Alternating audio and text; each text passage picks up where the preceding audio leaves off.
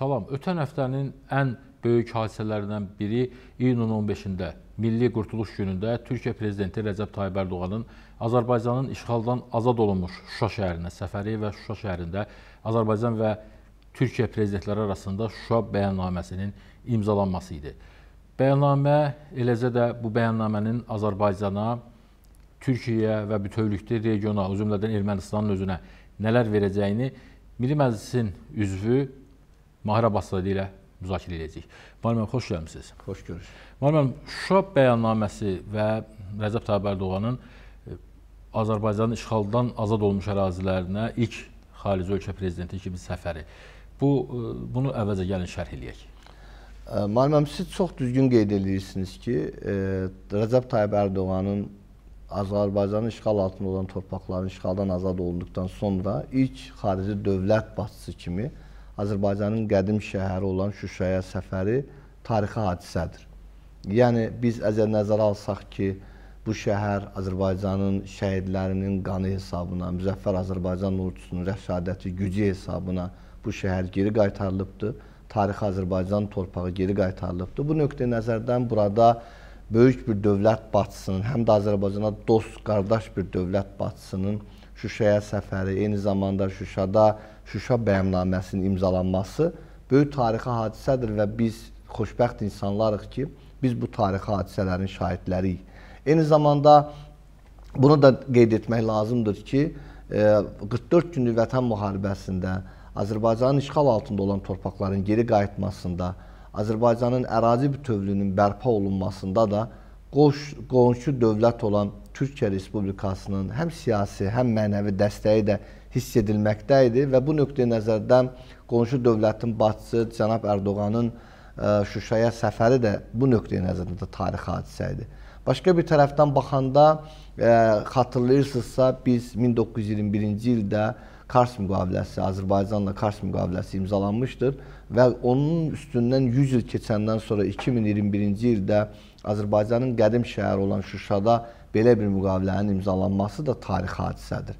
Və əgər biz digər bir tərəfdən baxsaq, əgər o zaman bağlanmış müqavilə təkcə Naxçıvanın təhlükəsizlik nöqteyi nəzərdən önəm daşıyırdısa, amma Şuşa bəyannaməsi bütövlükdə Azərbaycanın təhlükəsizlik nöqteyi nəzərdən ə, e, əhəmiyyət daşıyır. Digər bir tərəfdən isə bölgəyə gəlmiş sülhün əbədi olması üçün bu müqavilənin mühüm əhəmiyyəti vardır.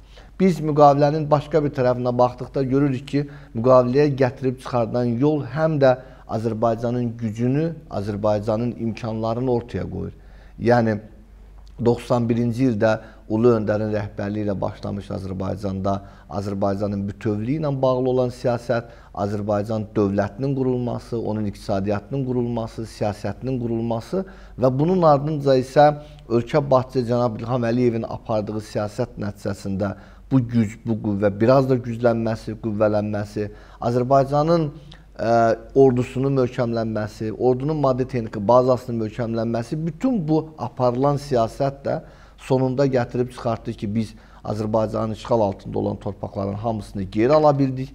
Azərbaycanın ərazi bütövlüyünü biz həll eləyə bildik və növbəti mərhələdə isə bizim qarşımızda duran əsas məsələlərdən biri, əgər biz işğal altında olan torpaqları geri qaytara bilmişiksə, Azərbaycanın ərazi bütövlüyünü bərpa edə bilmişiksə, Digər məsələ isə bundan sonra bölgədə davamlı sülhün və təhlükəsizliyin təmin olunması məsələsi həll edilməlidir.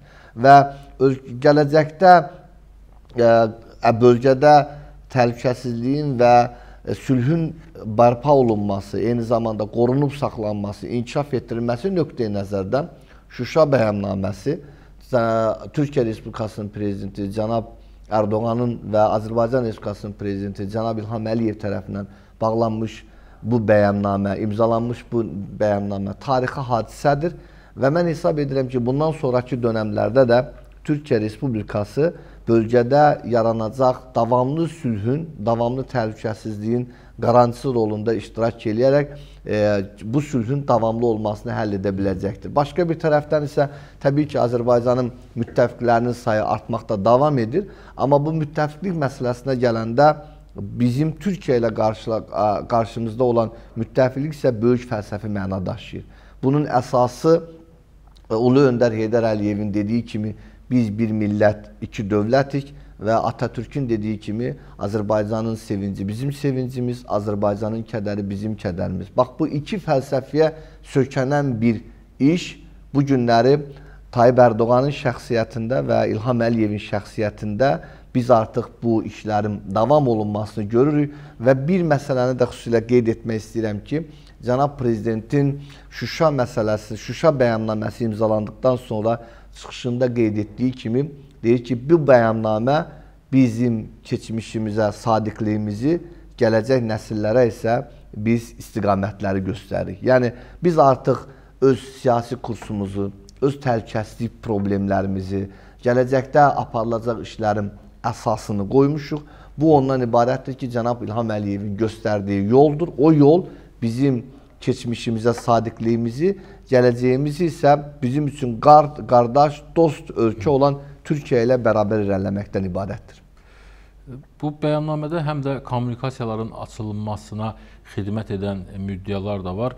Bu kommunikasiyaların açılması hazırda demək olar ki, default vəziyyətində olan Ermənistanın xilası sayıla bilərmi və indən sonra Ermənistan hakimiyyətinin indi dəyişəcək, dəyişməyəcək e, yeni hakimiyyət və ya mövcud hakimiyyətin üzərinə hansı məsuliyyəti qoyur? Müəlliməm, siz fikir versəniz, son vaxtlar bizim bölgəmizdə bağlanmış müqavilələr və imzalanmış nöqteyi nəzərdən həm miqyasına görə, həm əhatə dairəsinə görə əslində Şuşa bəyannaməsi çox tarixi bir hadisədir. Əgər Şuşa bəyannaməsinin bir hissəsi bölgədə təhlükəsizlik və sülhü həll etməklə bağlıdırsa, başqa bir bəyannamənin başqa maddələrinə əsasən bölgənin iqtisadi inkişafını, iqtisadi imkanlarının artırılması ilə bağlıdır. Və bu iqtisadi imkanlar içərisində isə təbii ki, kommunikasiyaların bərpa olunması, nəqliyyat infrastrukturunun qurulması, bu infrastrukturun ətrafında olan dövlətlərin yararlanması və öz iqtisadiyyatlarını qoruyub inkişaf etdirilməsi nöqteyi nəzərdən adını çəkdiyiniz Zəngəzur dəhlizi ilə bağlı olan məsələ çox aktualdır.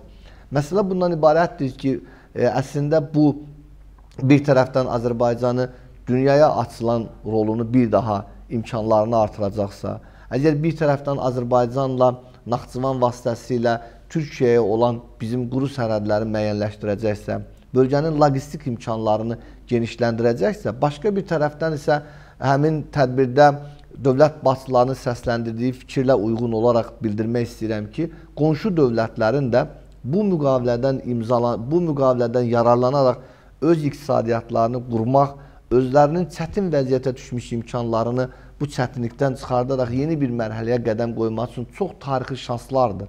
Və siz fikir versəniz, cənab prezident İlham Əliyev də, Tayyip Ərdoğan da öz çıxışlarında sanki bu dövlətlərə çağırış edirdilər. Və bu dövlətlər içərisində isə indiyə qədər bölgəmizdə sülhə təhlükə yaradan, təhlükəsizlik məsələlərini həll edilməyə qoymayan yeganə dövlət varsa, o da Ermənistan dövlətidir. Və Ermənistan dövlətinin uzun müddət apardığı siyasət nəticədə özünün, bayaq siz qeyd etdiyiniz kimi, iqtisadiyyatının default vəziyyətə gəldirib çıxartmasına səbəb oldu. Amma bugün Azərbaycan və Türkiyə bu bəyannaməni imzalamaqla yeni imkanlar, yeni fürsətlər ortaya qoyur. Bu yeni fürsət, imkanlar içərisində ən çox yararlanmalı olan, bu məsələlərdən ən çox özünün müsbət mənada inkişafını təmin etməklə bağlı olan yeganə dövlət varsa, o da Ermənistan dövlətidir.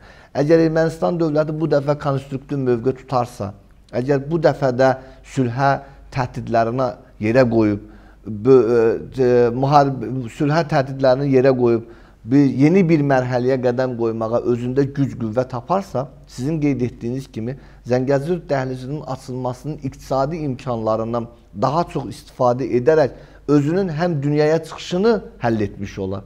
Eyni zamanda özünün iqtisadi nöqteyi nəzərdən hansı ki, bugün çox azınızaqlı bir vəziyyətə düşüb, Ermənistanın dövlət borcu artıq çox idarə olunmaz bir vəziyyətə gəlib çatıb, ölkədə işsizlik, baş alıb gedir, ölkə əhalisi ölkəni tərk etməkdə davam edir.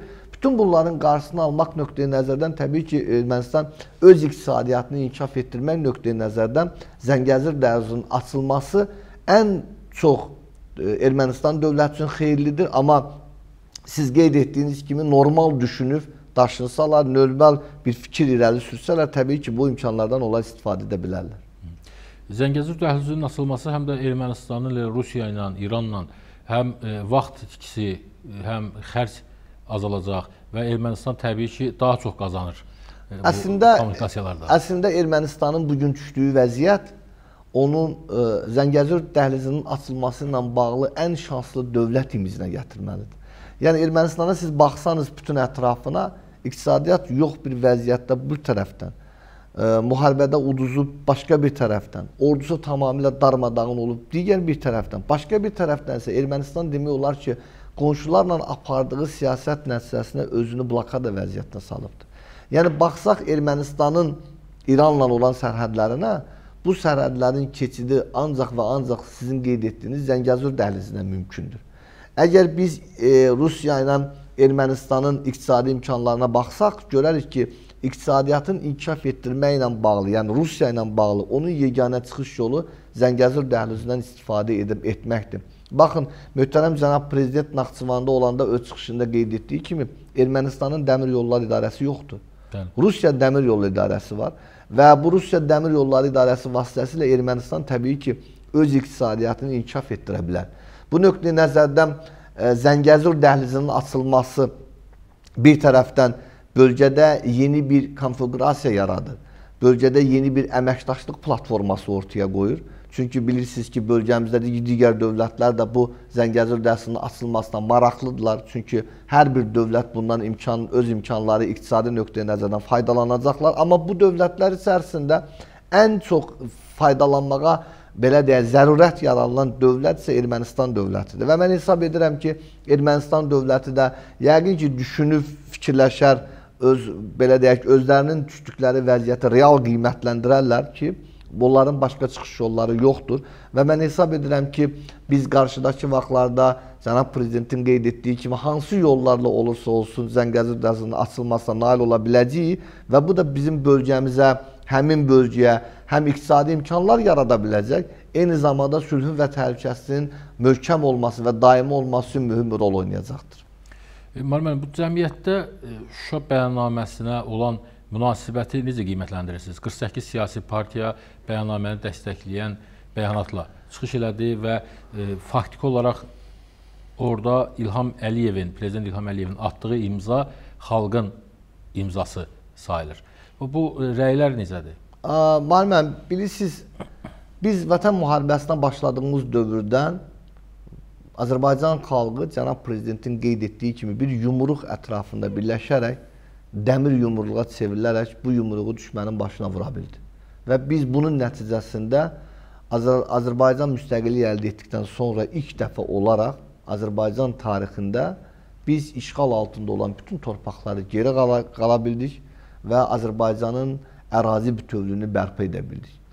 Bundan sonraki mərhələdə cənab prezidentin həm Şuşaya səfəri, həm işğaldan azad olunan ərazilərə səfəri, həm təməl qoyma mərhələləri, e, təməl qoyma mərasimlərində iştirak etməsi, yeni şəhərlərin təməl qoyulması, Smart şəhərlərin. smart kəndlərin və smart şəhərlərin başlanğıcının qoyulması, eyni zamanda hava limanlarının tikintisindən bağlı olan məsələlər, eyni zamanda dəmir yol xəttinin çəkilməsi ilə bağlı məsələlər təbii ki, Azərbaycan xalqının ürəyindən, nəinki ürəyindən gələn məsələ illərlə Azərbaycan xalqının içində gəzdirdiyi ən böyük arzuları idi. Və bu bu illərin içərisində isə xüsusilə biz məcburi köçkünlərin də öz Tədababa yurtlarına qayıtmaq, torpaqlarıyla qayıtmaqla bağlı olan arzuları da cənab İlham Əliyevin apardığı siyasət nəticəsində əsası Heydər Əliyev tərəfindən qoyulmuş bu siyasət nəticəsində biz bu arzularımıza artıq nail olmaq ərəfəsindəyik. Və digər bir tərəfdən isə Şuşa bəyannaməsinin özü də Azərbaycanın tarixi, əbədi torpağı olan Şuşada belə bir bəyannamənin keçirilməsi isə yenə deyirəm, tarixi bir hadisədir. Və yadınızdadırsa, hələ Ulu Öndər deyirdi ki, Qarabağsız Azərbaycan, Şuşasız Qarabağ yoxdur. Və İlham Əliyev də müharibə dövründə qeyd edirdi ki, biz Şuşanı geri ala bilməsək, bizim işimiz yarımçıq qalacaq. İlham Əliyev nəinki Şuşanı geri qaytara bildi, eyni zamanda bu gün Şuşada biz tarixi hadisələrin şahidləriyik və Azərbaycan xalqının bayaq siz qeyd etdiyiniz bu xalqın müəyyən bir hissəsinin formalaşdığı siyasi partiyalarda bütövlükdə xalqın fikirlərini özündə ifadə edərək Azərbaycan dövlətinin dövlət başçısı cənab İlham Əliyev tərəfindən bağlanmış müqaviləyə verilmiş imzanı Azərbaycan xalqının imzası hesab edir. Cənab prezident bu gün apardığı siyasətlə Azərbaycanın şanlı tarixini yazır. Bu tarix Azərbaycan xalqı ilə birlikdə yazılır. Ona görə də möhtərəm cənab prezidentin atdığı imza Azərbaycan xalqının imzasıdır və inanın bəlkə də xalqın böyük bir hissəsi nə yuxu kimi gəlir ki, bizim üçün yuxu olan əl çatmaz məqamları bu gün cənab prezidentin apardığı siyasət reallığa çeviribdir. Biz real hadisələr görürük ki, Şuşa bəyannaməsi imzalanır. Bu bəyannamənin maddələrinə baxanda görürük ki, bu bütövlükdə Azərbaycanın təhlükəsizlik məsələlərini özündə həll edir. Azərbaycanda yeni hərbi sənayenin formalaşma məsələlərini özündə həll edir. Azərbaycanda yeni kommunikasiyaların heç bizim üçün xəyal olan bir kommunikasiyaların bərpa olunmasından, yenidən qurulmasından söhbət gedir. Və bütün bunlar isə tarixi hadisələrdir və cənab prezidentin də apardığı siyasət təbii ki, bundan sonrakı dövrdə də bu siyasət daha sürətlə aparılacaq. Çünki bu siyasət Azərbaycan xalqından güc alır, onun imkanlarından güc alır və ona görə də bu güclü siyasət hələ bundan sonra da davam etdiriləcəkdir. Müəllim, siz Milli Məclisin İqtisadi Siyasət, Sənaye və Sahibkarlıq Komitəsinin üzvüsüz. Bu ə, bəyannamədə ə, ümumiyyətlə Azərbaycan və Türkiyə arasındakı əməkdaşlıq həmişədən unikal olub dünya üçün və bu bəyannamədə həm də yeni mərhələyə artıq keçirik biz bu əməkdaşlıqda, tərəfdaşlıqda. O iqtisadi tərəflərini şərh eləyək gəlin. Burada həm e, hərbi sənayədən söhbət gedir, həm də iqtisadi əlaqələrdən. Biz baxsaq Türkiyə-Azərbaycan münasibətlərinə, bütövlükdə bütün sahələrdə bu münasibətlər dünyada analoq olmayan münasibətlərdir, amma bu münasibətlər içərisində təbii ki, iqtisadi münasibətlər həmişə öncü yerlərdən birini tutubdur. Biz baxsaq bölgəmizdəki iqtisadi layihələrin həyata keçirilməsinə, bütün layihələrdə Türkiyə, Azərbaycan bu layihələrin birgə müəllifi olduğu kimi həm də birgə fayda götürən dövlətlərdir. Və siz bilirsiniz ki, Azərbaycanla Türkiyə arasında bütün əlaqələrdə, xüsusilə də iqtisadi sahədə irəliləyişlər var və bundan sonrakı dönəmlərdə də olacaq. Biz baxsaq biz iqtisadi əlaqələrimizə bizim illik ticari dövriyyəmiz təxminən 15 milyard dollar hədəflənmişdir və bu rəqəmin bundan sonrakı illərdə də artması nəzərdə tutulacaqdır. Əgər baxsaq Azərbaycan iqtisadiyyatına təxminən Türkiyə şirkətlərinin 13 mindən artıq Türkiyə şirkətinin Azərbaycanda fəaliyyət göstərməsini, o şirkətlərin bəzilərinin birgə müəssisələr olduğunu şahidləriyik. Digər bir tərəfdən isə Türkiyə iqtisadiyyatına Azərbaycan iqtisadi, Azərbaycan səhmdarlarının və xüsusilə də dövlət neft şirkətinin vəsaitləri hesabına investisiyaların artmasının şahidləriyik. Bu gün o Şuşa müqaviləsində isə bağlanmış şey bəyannaməyə əsasən isə Azərbaycanla Türkiyə arasında yeni bir mərhələ başlayır. Bu mərhələnin içərisində digər sahələrdə olduğu kimi iqtisadi sahələr də var. Bu sahələr içərisində biz birgə hərbi sənaye müəssisələrinin yaradılması və ondan istifadənin eyni adlı məhsulların bir yerdə istehsal olunması və xarici dövlətlərə satılması, digər bir tərəfdən isə logistik məsələlərlə bağlı birgə dəmir yol xətlərindən istifadə ilə bağlı məsələlər müzakirə edilibdir və artıq bəyannamədə öz həllini tapıbdır və bu da təbii ki, gələcəkdə Türk-Azərbaycan münasibətlərində iqtisadi imkanların artmasına gətirib çıxardacaq. Siz baxın, cənab Ərdoğanın da qeyd etdiyi kimi, cənab prezidentin də həmişə qeyd etdiyi kimi işğaldan azad olunan ərazilərin bərpasında birinci yerdə xarici dövlətlər içərisində Türkiyə dövlətinə məxsus olan şirkətlər fəaliyyət göstərir. Necə ki, böyük vətən müharibəsində bizə mənəvi siyasi dəstəyini əsirgəlməyən Türkiyə dövləti bu gün işğaldan azad olunan ərazilərin bərpası, Qarabağ iqtisadiyyatının Azərbaycan iqtisadiyyatına inteqrasiyasının həll edilməsi ilə bağlı olan məsələlərdə Türkiyə şirkətləri yenə yaxından iştirak edir. Bu da bir daha Türkiyə-Azərbaycan münasibətlərinin iqtisadi nöqteyi nəzərdən daha nə qədər vacib olduğunu ortaya qoyur. Xatırladım ki, qonağımız Milli Məclisin İqtisadi Siyasət, Sənaye və Sahibkarlıq Komitəsinin üzvü Mahir Abbaszadə idi. Mahir müəllimlə biz Rəcəb Tayyib Ərdoğanın Türkiyə prezidentinin Azərbaycanın işğaldan azad olunmuş Şuşa şəhərinə səfəri, eləcə də Azərbaycan və Türkiyə prezidentləri arasında imzalanmış tarixi Şuşa bəyannaməsini müzakirə edirdik. Sağ olun.